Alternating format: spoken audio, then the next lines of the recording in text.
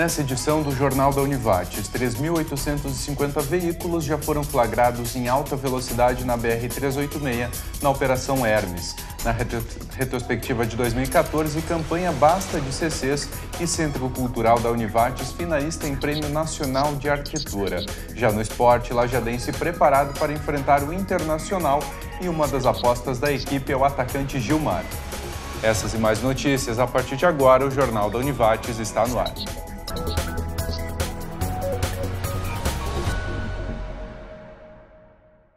Boa noite.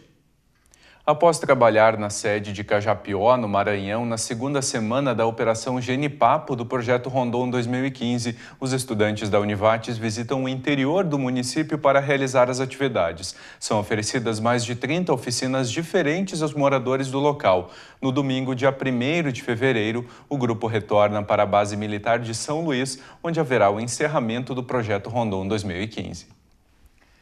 A Operação Hermes começou em agosto do ano passado na BR-386. A operação não tem data para terminar e ações de fiscalização devem aumentar sempre que os números de acidentes forem altos. A maioria dos acidentes registrados na BR-386 tem como causa a imprudência dos condutores. Pode-se destacar o excesso de velocidade e as ultrapassagens em locais proibidos. O grande número de acidentes em certos pontos da rodovia preocupou a Polícia Rodoviária Federal. Em Lajeado e região, nos pontos que houve um aumento da acidentalidade, nós iniciamos essa operação e ela já surtiu efeito. Quando ela não surte o efeito, nós vamos verificar também outras causas que a acidentalidade é, apresentou, que às vezes é de ordem estrutural, às vezes é uma questão de uma manutenção numa rodovia, um escoamento de água que pode estar ocasionando. No nosso caso específico aqui, em tese, conseguimos apaziguar a questão da acidentalidade. E por isso, então, já diminui a intensidade um pouco, mas ela não se extingue. Hoje, inclusive, estamos com dois equipamentos operando. Após meses de operação, a PRF registra números positivos. Os números que importam para a PRF é o número de, de acidentes diminuindo. E esse é o número principal que nós temos no intuito. Nós tivemos, em termos de imagem captada pelos equipamentos, 3.850 imagens. Essas 3.850 imagens, ela pode parecer de certa maneira um número elevado, mas considerando que foram cinco equipamentos em alguns momentos que operaram, é um número relativamente baixo. Conforme o chefe de operações da PRF, o número de acidentes na BR-386 ainda não está diminuindo, mas outros fatores são responsáveis por isso. Temos uma, um fluxo de veículos aumentando consideravelmente e a infraestrutura ela permanece basicamente a mesma há muitos e muitos anos. Então existem situações que uh, de atrito que não tem como diminuir uma acidentalidade tão somente com a fiscalização. A fiscalização tão somente ela não dá conta do recado, mas podemos em números brutos a acidentalidade se mantém, se mantém. Se considerarmos o fluxo de veículos que aumentou, ela se reduziu e reduziu bastante. Isso fica na faixa uns 30% aproximadamente. Em função da limpeza periódica de reservatórios de água, o bairro Conventos ficará sem água na quarta e quinta-feira, dias 4 e 5 de fevereiro. O serviço terá início às 7h30 da manhã, com previsão de término para o fim da tarde. Em caso de chuva, os serviços serão transferidos. E a seguir, na retrospectiva, Centro Cultural da Univates é finalista em Prêmio Nacional. Nós já voltamos.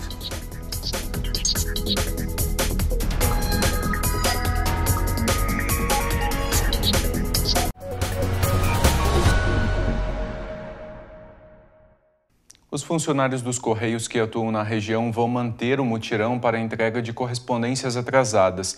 A decisão é diferente da que foi tomada em outras regiões do estado, onde a categoria paralisou atividades ontem e hoje. Os empregados reivindicam melhores condições de trabalho. Estima-se que mais de 60% da categoria no Rio Grande do Sul tem aderido ao protesto. Reforçando, em Lajeado e região, então, não há greve. A Secretaria de Segurança Pública e Cidadania de Lajeado definiu a data de inauguração do sistema monitorado de vigilância. Será no dia 12 de fevereiro, em frente ao 22º Batalhão de Polícia Militar. 16 câmeras de vídeo monitoramento já deverão estar em funcionamento.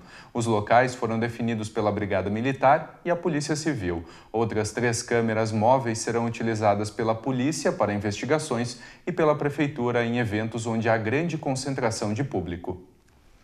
Agora, a retrospectiva 2014. Ano passado, o Centro Cultural da Univates foi finalista em um concurso nacional de arquitetura. No mês de novembro, os finalistas do prêmio Melhor da Arquitetura vão ser escolhidos. Foram dois selecionados em cada categoria. E aí, esses dois projetos ainda vão passar por uma análise uh, de críticos, de profissionais da área. E junto com isso, tem essa, essa votação na internet, né, que tem um peso um pouco menor mas ela é critério de desempate, né? Se porventura houver um empate técnico, por exemplo, a votação na internet vai desempatar. A inscrição foi feita pelo escritório Tartan Arquitetura. Os vencedores vão ser publicados na revista Arquitetura e Construção da editora Abril. Leva obrigatoriamente o nome da universidade junto, né? Uh, então, ela significa uh, o resultado e, e de certa forma, uh, comprova como foi acertada a decisão da instituição e investir num projeto desse tamanho, né? Uh, uh, validar e insistir de que esse projeto deveria ser significativo para a Univates, para Lajado e para o Vale, porque ele representa uh, muita coisa ao mesmo tempo, né? Ele, ele significa a, a importância que a instituição está dando para a questão da tecnologia, da inovação, da sustentabilidade, da, da preocupação com o espaço que ele ocupa, do significado da obra e também porque ele representa uma mudança da, da, da, instituição, né? um salto que a gente quer dar.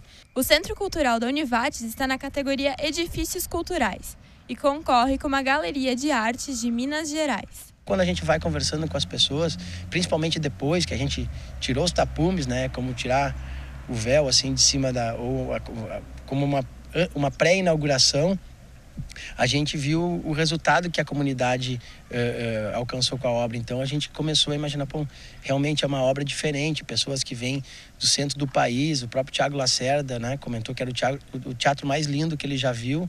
Então aí a gente uh, imaginou, bom, dá, eu acho que esse, esse, essa, obra, vai, esse projeto vai alcançar voos mais altos, mas na época do projeto a gente não imaginava. A expectativa, segundo Robledo Miller, é que, se o projeto for o vencedor, o Centro Cultural sirva como ponto turístico e incentivo para novos artistas locais. Daqui para frente, a gente imagina que ele se torne uma referência, se torne um ponto turístico, se, se torne motivo de estudo, se torne uma, um, uma mudança em toda uh, que já está acontecendo, né? Uh, como é importante investir em arquitetura, engenharia, sustentabilidade, porque a gente aqui na Univates forma profissionais e eles saem preparados para isso. Então é importante que eles tenham possibilidade de mercado de aplicar o que aprendem em sala de aula. A votação online vai até o dia 25 desse mês. Agora a previsão do tempo. Amanhã o ar seco segue atuando sobre todo o território gaúcho, garantindo um dia de sol. No domingo, o sol ainda aparece, porém acompanhado por algumas nuvens, e as temperaturas sobem mais. Em função disso, entre a tarde e a noite, áreas de instabilidade podem se formar e resultar em pancadas de chuva isoladas na região.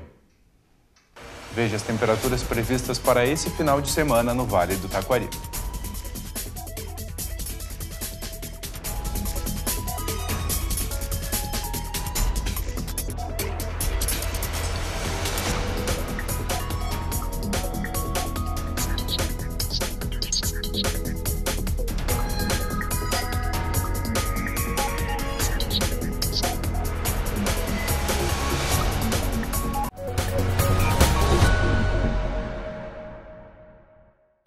Primeira reunião da diretoria da Associação dos Municípios do Vale do Taquari, AMVAT, vai contar com a participação da presidente do CODEVAT, Cintia Agostini. No encontro no dia 9 de fevereiro, às 9 horas da manhã, na sede da associação, ela vai apresentar aos participantes os resultados de uma pesquisa sobre os serviços de comunicação na região, que apontou as deficiências da área, principalmente na telefonia móvel.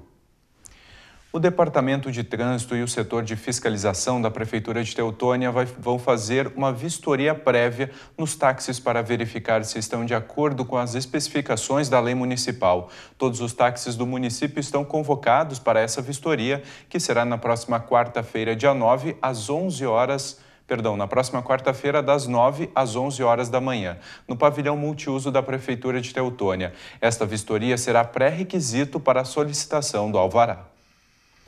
Continuamos agora com a retrospectiva de 2014. Ano passado foi feita a campanha Basta de CCs, com o objetivo de reduzir os cargos de confiança em repartições públicas. Uma proposta de emenda à Constituição Popular reduz o número de cargos em comissão, os CCs, no setor público. Para que ela seja aprovada, são necessárias cerca de 60 mil assinaturas. O objetivo é limitar os cargos em comissão no serviço público no estado, no município, nas autarquias, no estado do Rio Grande do Sul. Porque assim sendo, nós conseguindo o encaminhamento dessa emenda condicional e aprovação, o objetivo é que o ingresso no serviço público, a regra seja por concurso e não, não esse monte, esse, número enorme de CCs que hoje há no serviço público sem concurso. E moralizar a administração pública para evitar casos como esse que ocorreu uh, há poucos dias em Canoas, onde os vereadores exigiam parte do salário dos CCs para suas campanhas eleitorais. Lajado é o décimo município a receber a campanha Basta de CCs. A meta é atingir 55 cidades e coletar cerca de 65 mil assinaturas. A PEC propõe que 60% dos cargos comissionados sejam ocupados preferencialmente por servidores de carreira. Além disso, busca o combate ao nepotismo direto ou cruzado. No governo estadual, são cerca de 6 mil cargos comissionados. Em cerca de um mês de campanha, 12 mil assinaturas foram coletadas. Podem participar do abaixo assinado eleitores com mais de 16 anos que estejam com os direitos políticos em dia. A assinatura também pode ser virtual através do site bastadiccs.org.br. Para assinar, basta o nome, o nome da mãe, a data de nascimento e se tiver o título eleitoral. E a seguir, Lajadense preparado para a estreia no Gauchão.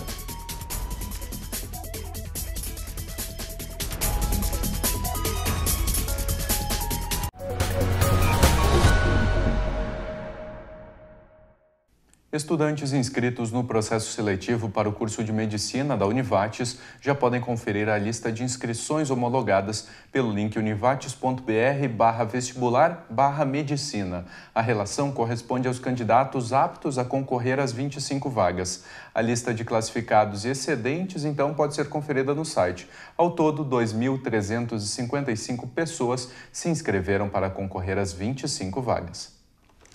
O projeto I da Univates recebe inscrições até o dia 10 do mês que vem. Podem se inscrever professores, funcionários, alunos e bolsistas da instituição no nível A1 Starter ou mediante a apresentação de prova de nivelamento anterior.